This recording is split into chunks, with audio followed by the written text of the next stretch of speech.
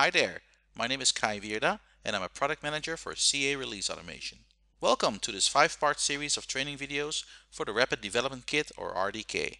In this third part, we'll look at the CLI and script action types. In this module, we'll have a closer look at the CLI and script action types.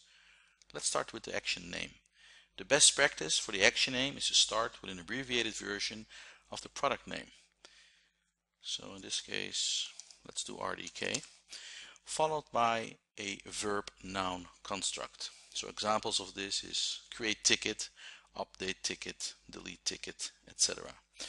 So what we can do is run commands. This way, the release automation user can easily tell for which product this action is and also which type of function the action provides. Description.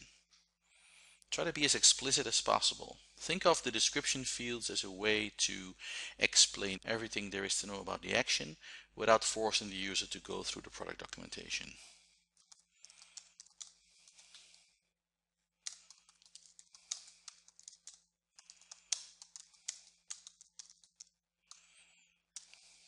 The action category field. By default, all the actions are part of the primary category as defined in the action pack properties. The action category enables you to put this action to a subcategory, which is useful for action packs that have many actions and require proper grouping of actions. Let's look at the input parameters. The input parameters provide all the configuration required for the action, such as the server to connect to, login credentials, etc. And parameters are simply added by typing a name and hitting the plus button. Once added, you can choose a type. Default is string, but other types are available. And also set various options, such as the required flag, and of course a description. Again, try to be very explicit here.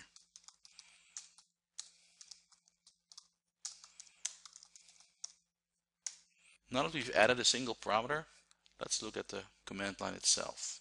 The CLI action type enables we should provide a Windows or Linux specific command.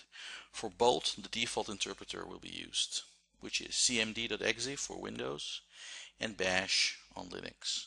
Since I'm running RDK on Windows, we'll focus on the Windows command line.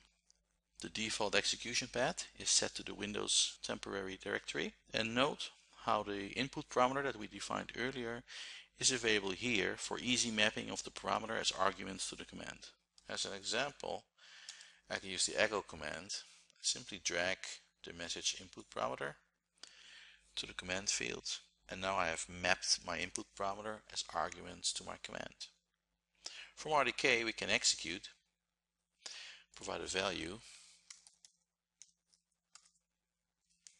click the execute button and now we can see the results of the command execution. We have the standard out, the standard error and the exit code. And these three outputs are all made available by out-of-the-box output parameters with the execution output, the error output, and the exit code. And you can provide additional output parameters where the output parameter subscribes to a specific source. And you can use either regular expression, XPath, or JSON path to filter out the exact information you need and assign it as an output parameter. For example, if I change the command to ipconfig and hit execute, this is the output I get. Let's imagine I'm interested in the first IP address that matches. What I can do is add an output parameter called IP address, add is of type string I'll skip the description for now. Source is standard out, filter type is regular expression. If I paste in a regular expression, you'll notice that the RDK actually highlights the matches in the standard out in this case. So it validates that the regular expression works for me. And you know, if I continue to do this, I can easily define new output parameters and filter out uh, the exact data from standard out as I want. The CLI action type can also be used to execute scripts. However, when calling scripts that are not associated to the default interpreter, cmd.exe in this case, you have to make an explicit call to the script interpreter, just like you would do from the command line itself. For example, to run PowerShell from the command line, I would type PowerShell, then minus file, and then point to the path where my PowerShell file is located. And then as this script takes a single argument, I would enter my argument here. Hello world. And hit enter. So my PowerShell script echoes back uh, the argument that I provided, hello world. So this works. So let's do the same from RDK. To run a script, you can upload an existing script. And the script can now be referenced via this special uh, parameter. So now I can complete it with the command PowerShell minus file. This then calls script and then I have to provide my argument which in my case is the message. So now I combine the script reference with an input parameter and we can run this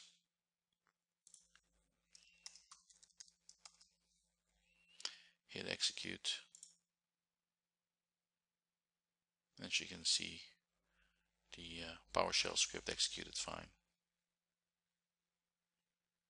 The same methodology works for other script types. So whether you have VBScript, uh, Python, etc. As long as you explicitly call the interpreter, upload the script file and call the script and provide the uh, parameter as arguments to the command, just like you would on the command line itself, uh, you can run any script type you like via RDK. Now let's move down to results. By default, when release automation has finished executing an action and the execution was successful, it will produce this default success message. Now you can change the success message and reuse any of the available input parameters. You can also use output parameters, but you have to manually type the reference to the output parameter in the 1.0 version of RDK. But be aware that you can say execution succeeded, uh, comma, and then the input was displayed.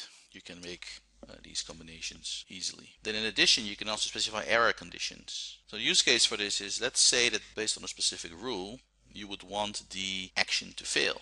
Then you can take any of the output parameters, also the ones you have defined uh, in addition to the standard ones, and choose an operator. So you can either run a regular expression or you can do um, comparisons, etc. And say if execution output equals a certain value, then you can specify an additional error message. And again, use any of the available input parameters by using drag and drop or uh, manually enter any of the output parameters. And you can add multiple conditions. So then what is the difference between the CLI and script action types? Although they are largely the same, there are two fundamental differences. First off, a CLI action type executes both commands and script and assumes the script that you call accepts command line arguments. The script action executes a script directly against the OS default interpreter, be it uh, cmd.exe or bash, or PowerShell, which of course is only supported on Windows. And it enables you to provide an inline script and to perform inline variable substitution. Thank you for watching. Be sure to check out part 4 of this series where we cover the RESTful action.